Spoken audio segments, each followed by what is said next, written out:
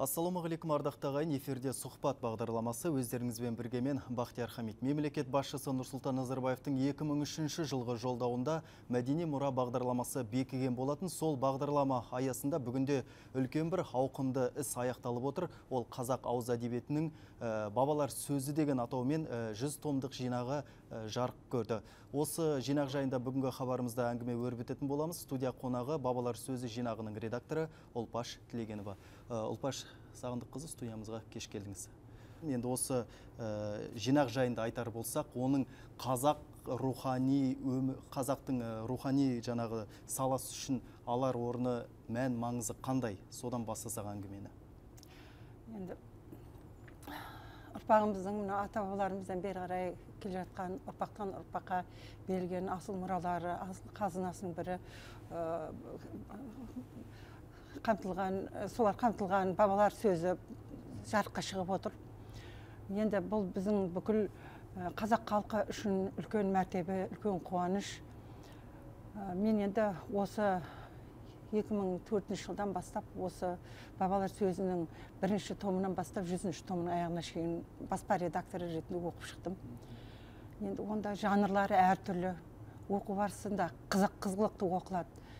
Бірнеше мысалы хикаялық дастандар жаңағы бірнеше жанрлар қамтылған. Хикаялық дастандардың он үш томы діни дастандардың жеті томы ғашық дастандардың сегіз томы тарихи жырлардың он үш томы ауыз әдебиетінің барлық ауыз әдебиетінің барлық түрлері тіпті бұның ішінде жаңағы бес томдық мақал мәтелдер мына ғұрыптық фольклор магиялық фольклор дейді жаңылтпаштар жұмбақтар ертегілер сосын мына ауызекі әңгімелер осылардың барлығы түгел ән өлеңдер күй аңыздар барлығы қамтылған ұлпаш сағынайқызы жаңа 2004-тен деп айттыңыз. Демек осы жинақ 10 жыл бойына 10 жылдай уақыт жазылған болып тұр ғой жинақталған болып тұр ғой иә?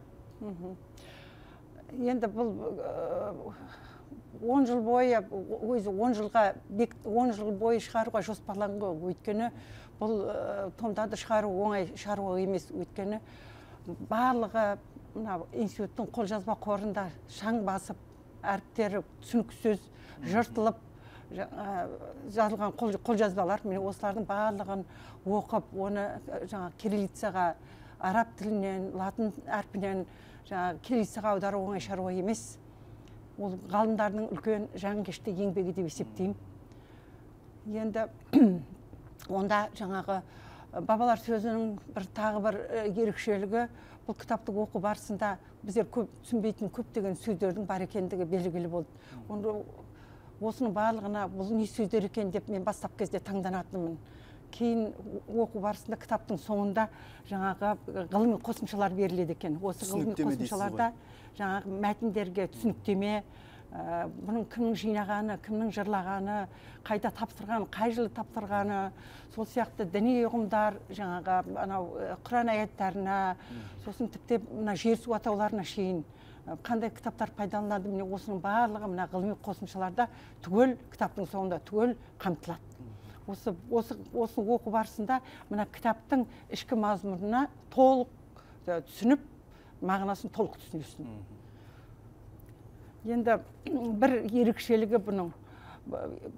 Бұл ата бабаларымыздың сөйлеу баяндау стильдері әртүрлі екен. Ешқандай өзгерту енгізілмеген бұл кітаптардың барлығында да. Сол қалай берілді қалай ауыз, ауыздан ауызға жетті сол күйінде берілген. Бір ерекшелігі. Вот. сосын енді осының барлығы грамматикаға бағынбайды біздің. Келмейді дейсіз иә дайындау барысында бірталай қиындықтар көрдік. Өйткені қай жерге қоятын бастаушы басқа жағында баяндаушы басқа жағында. Яғни сонда ата бабаларымыз қалай жырлайды вот сол күйінде беріліп отыр? Демек бүгінгі күннің жаңа грамматикасын икемдеген жоқсыздар ғой? Енді мүмкіндігінше бағынатын жерлеріне енгіздік. Өйткені қазіргі оқырмандар оны қалай қабылдайды? Иә. Сондықтан мүмкіндігінше жаңағы қолымыздан келгенінше жаңағы тыныс белгілерін қойып отырдық. Ал осы жинаққа қанша адам жұмылдырылды? Шығармашылық топ. Қанша адам дейсіз ба иә. Қанша адам болғанда мен енді баспа редакторымын ғой. Иә. Мен ол жерде қолжазба бөлімі институттың қолжазба бөлімі ә, сосын басқа да фольклор бөлімі сосын ау- ауыз әдебиеті бөлімдерін ғалымдар қатысты иә. әрбір енді бөлімде енді бірнеше адамдар бөліп бөліп алған енді олардың барлығы бірдей ә, араб тілін біле бермейді ғой. Ішінде бірнешеуі араб ә, латын әріптерін біледі. Өзі көнерген әріптер оны бері қарай аудару дайындау ол үлкен үдеріс үлкен үлкен еңбек. Мен оны өз көзіммен көрдім. Өйткені біздер бірлесіп жұмыс жасадық. Себебі мысалы мынау сөздікте мынада қарап отқанда мен бірінші оқыған кезде әріп дегеннен түсінбегеннен кейін дәптерлер дәптерге сөздіктердің бәрін тіркеп отырдым. Сөйтсем ол сөздік бір екі жүзден үш жүзден асып кетеді. Соның барлығын ой бұл не сөздер екен деп сол оқу барысында бірінші кезде енді ол ғалымдармен бірден байланыс жасай қойған жоқпын. Сол оқу барысында келген кезде сөздік бар екен мында сол сөздікке қарап отырып мыналар түсті ме түспеді ме барлығын түгелдеп түспегендерін жаңағы ғалымдарға барып осыларды мынау енгізсеңіздер екен енгізсеңіздер екен мысалы маған ғана түсінікті емес оқырмандарға да түсініксіз болуы мүмкін деп сол ғалымдар сол біздің өтінішіміз бойынша сол сөздіктердің барлығын мынаған жаңағы кітаптың ғылыми қосымшаларына енгізді. Мысалы мына бабалар сөзінің өзінде екі жүзде тоқсан екі сөз қамтылыпты сөздікте. Басқаларда кейінгілерінде де сондай жүзден елуден жиырмадан жаңағы соның ішіндегі мазмұнына қарай бізге халыққа таныс емес ата бабаларымыздан бері қарай бізге таныс емес сөз, сөздер бар. Осылардың барлығы сөздікте берілген. Сосын енді оны жаңағы э, былай қарайсың бұл қай мынау э, облыстардан шыққан қай жерлерден қай кезеңдерден деп осының барлығы да сол осы ғылыми қосымшаларда. Енді болады мынаны сұрайыншы сізден осы еңбекті жинау барысында жинақтау барысында бұрын әдебиетке белгісіз болып келген бір э, ауыз әдебиетінің үлгілері жаңа бір жырлар дастандар табылып жатты ма? Осы енді ме еңбекке? Енді мен мысалы мынау хикаялық дастандар туралы білмейді екенмін хикаялық мына батырлар жырын білеміз ғашықтық жырларды білеміз. Өйткені біздің ертерек кезде бала кезімізде үйімізге жы- жыршылар келді деп жаңа ата аналарымыз төрге отырғызып қойып баламыз біздер бізді жұмсайтын жаңа жинап алып кел мында жыршы келді түнімен жыр жырлайды деп. Сол сөйтіп ә, жаңағы біздер ғашықтық жырларды жаңағы мына батырлар жырлары туралы біздер со- сол кезден мына құлағымызға сіңісті болып қалған.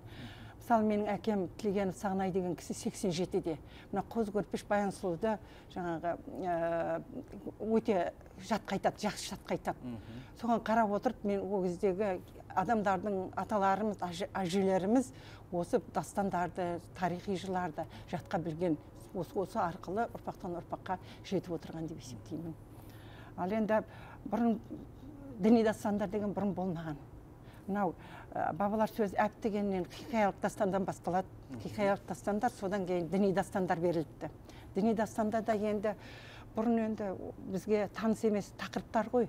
Онда жаңағы мұхаммед пайғамбарымыздың өмірбаяны оның жаңағы ә, көмекшілері сосын мынау құран аяттеріне қатысты нәрселер ә, алла тағаланың құдіреттілігі ә, жаңағы соған сәйкес біздің ата бабаларымыздың сенім нанымдары әдет ғұрыптары Иә. барлығы барлығы осы жаңағы діни дастандарда осы хикаялық дастандарда да жаңағы басқа да бір дастандарда кездеседі. Діни бұл енді бұрын бізге таныс емес жырлар. Иә, жаңашылдығы болып тұр, болып тұр дейсіз ғой осы еңбектің.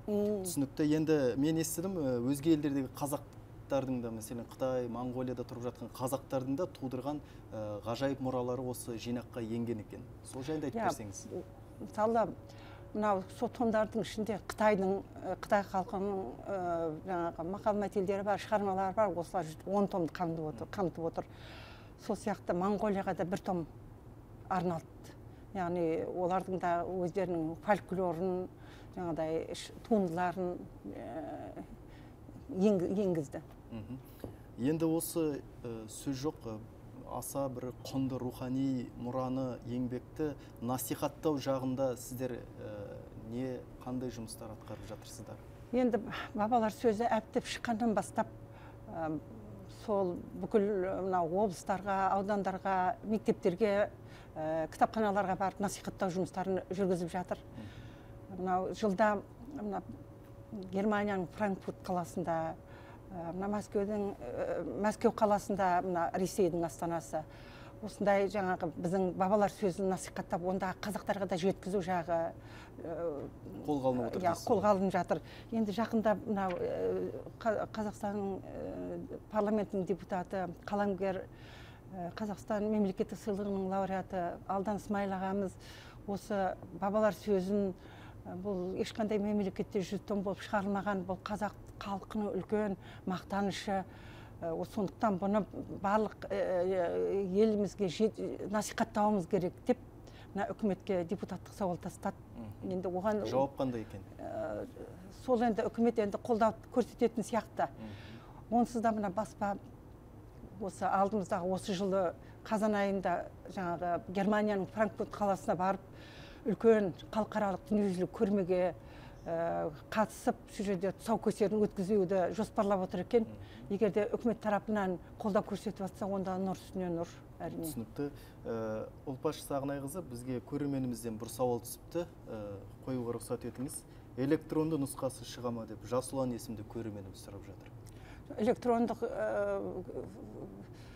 электрондық баспа көлемі 2540 баспа табақ болып отыр. Енді әрбір том ә, 400 400-ден астам беттен шығарылған. Ол енді баспада сақтаулы. Демек енді бұл кісінің сұрап отырғаны енді мына ғаламтор арқылы оқуға бола ма деген сауал секілді? Соған Сол сұрауына оны да қарастырып жатыр. Ал қай уақытта осы шешілуі мүмкін? енді ол енді ә, алда соны кіргізу туралы сөз болды. Сол енді мен өзім ойлаймын енгізіледі деп ойлаймын осы жуық арада. Бірақ осы елдегі оқу орындарының жаңағы кітапханалардың барлығына таратылды ғой бұл еңбектер. Енді барлық кітапханалардың барлығына мемлекеттік тапсырыс бойынша ә, сол ә, таралым енді таралым ә, тапсырыс бойынша жасалып отыр ғой. Сондықтан қазір енді бүкіл қалалық облыстық аудандық іргелі кітапханалардың барлығында бар. Сонан тауып оқуға болады. А егер ә, қосымша тағы керек болса баспамен хабарласып баспадан алуына болады. Ал енді жұрттың қызығушылығы қалай болып отыр осы еңбектерге? Жұрттың қызығушылығы оқырмандардың қалай болып отыр? Енді бұл енді көзі ашық көкірегі ояу адамдардың барлығына қызық қой. Өйткені ата бабамыздың өткен жолын олардың әдет ғұрпын салт дәстүрін білу тіпті бұның ішінде жоқтауға дейін бар. Мысалы қазіргі кезде ол жоғалып бара жатыр мен осы екі бауырым э, қайтқан болатын. Мен сол жаңа жоқтауды жоқ бір кітап түгеліменен жоқтауға арналған. Соны жылап отырып тұрып оқыдым. Енді сонда қазақтың жаңағы өзінің бауырларын туыстарын жақындарын жоқтағанда қабырғасын қайысып тұрып осы әдемі тілмен жеткізген. Міне осылардың барлығы мынау кітаптарда өз кітаптарда орын орын беріп отыр оларға. Ұлжан сағынайқызы сізге алғыс айтамыз. Осы уақыт тауып хабарымызға қатысқаныңызға және осы еңбек өздеріңіздің ә, жаңағы көз майларыңызды тауысып осы ә, жазып шығарған еңбектеріңіз ұлттың рухани тұғырын бекітуге өлшеусіз үлесін қосын деген тілек білдіреміз.